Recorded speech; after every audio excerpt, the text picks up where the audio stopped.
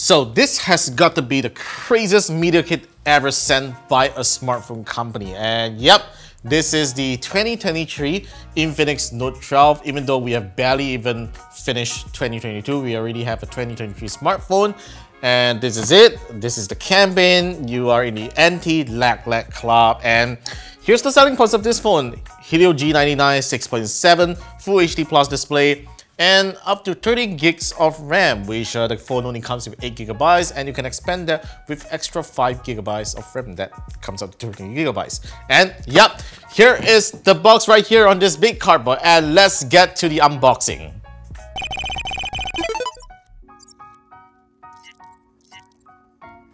Infinix has been doing a really great job on releasing great value smartphones in Malaysia and I'm super excited to have received the Note 12 2023 for review because this is the company's very first gaming smartphone that is set to go on sale starting on the 7th of October. It will be priced at 799 ringgit but if you pre-order the phone you can get 100 ringgit off at 699 ringgit. So without wasting any time let's just get to the unboxing already. Uh, I'm really excited to cut open this box so as you can see since this is a gaming phone, uh, Infinix has partnered with Mobile Legends Bang Bang uh, in conjunction with the launch of this smartphone. This is a pretty exciting collaboration because this means you're going to get free stuff when you play the game. Now, this is of course not the first time that we have seen a smartphone company partner with Mobile Legends Bang Bang uh, in releasing a smartphone because we have previously seen, uh, if I'm not mistaken, it would be Vivo that uh, does a similar thing. So this is going to be the same kind of benefit when you buy this kind of phone as you get uh, some freebies when you play the game, all right? So this is the phone. We are just going to take it out of the box like this. This is really a nice box that I would really love to keep, you know? So we're going to take this out and we are seeing the more uh, standard packaging design from Infinix. This is the Infinix Note 12 2023. So we got a few things here. AMOLED, it has NFC grade, so you can reload your Touch and Go enhanced card if you want to. There's Helio G99 inside, it's powered by this really good MediaTek chipset, even though it's not as powerful as the Dimensity chipset, but still offers a really good gaming experience. And it has 6 nanometer high performance and a monster engine. Wow, how, how monstrous is that? Alright, let's just open the box right now. Whew. Here's the phone. And the color that we got right over here is a blue color model that you just see on the cardboard earlier on. So let's just take out the phone quickly and show you guys how it looks like. Wow, this is a pretty familiar design. Remember that we reviewed the Infinix Note 8? It actually feels very, very similar to that design with this shiny frame around the camera uh, corner here. And there is a matte uh, surface right at the bottom for throughout the entire chassis, all right? So we've got some manuals and whoa, this looks like a US dollar, but in fact it is just a card note saying that uh, you know you're welcome to join the Infinix X Club, which is part of their community. So we have the TPU case right inside the box, save some money. Uh, we have the cable right over here. This is apparently a proprietary USB-C charging cable that enables 33 watts of fast charging with this charging brick.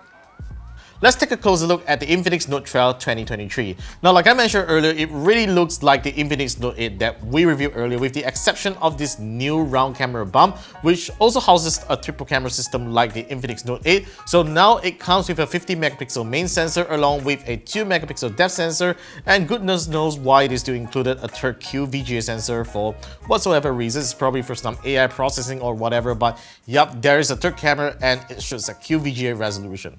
Now, on the front here, you get a 6.7 inch Full HD Plus display. It is an AMOLED panel which looks really nice with popping colors, but unfortunately it is not a 90Hz or 120Hz display. It still defaults at 60Hz. So I'm not sure why Infinix would call this a gaming phone with this kind of refresh rate.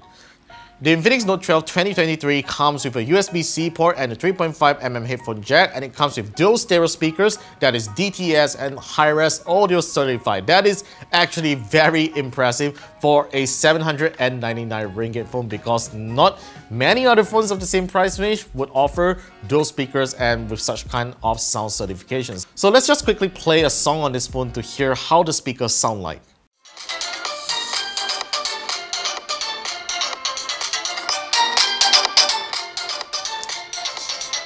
Alright, to be honest, it's not the best dual stereo speaker sound system that I have heard on a mid-range phone like this, but nonetheless, at least Infinix cared to give dual stereo speakers on an 800 ringgit phone, which to be honest is rather commendable.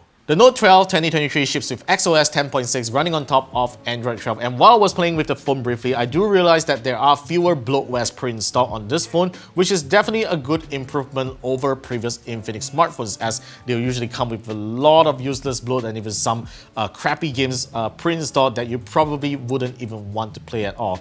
Overall, this feels like a really great mid-range phone from Infinix. It costs 800 ringgit and of course I am a little disappointed that they didn't include a a higher refresh rate display because I seriously do not mind even if they include a IPS display that has 90 Hz refresh rate because this is a gaming phone by all means. I mean, they advertise it as a gaming phone. I mean, I don't see a gaming-centric design on this phone at all, let alone, uh, you know, a good gaming hardware on this, but I'm sure that the Helio G99 processor will definitely do well in most games I try because this is a processor that I have yet to try out. It is a rather new mid-range uh, gaming processor from MediaTek, which I think is going to be really good for a mid-range smartphone. So that's all for my first impressions and unboxing of the Infinix Note 12 2023. That media kit was really, really crazy, I have to tell. I feel like a salesman while carrying that. But do let me know what you guys think of this phone and what you want to know about the Infinix Note 12 2023 in the comments down below and be sure to subscribe to our channel for more videos coming right up and I'll see you guys